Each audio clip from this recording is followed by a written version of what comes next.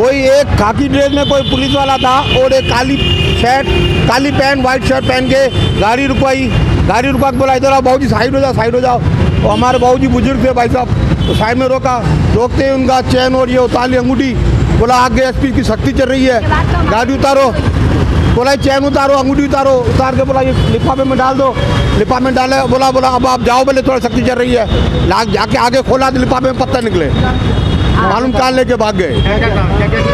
एक सोने की अंगूठी थी एक चैन थी। कितने कितने तोला की कितने कितने तोले की लो भैया वही बता रही हमारे भी साथ हुआ आपका भी हुआ है?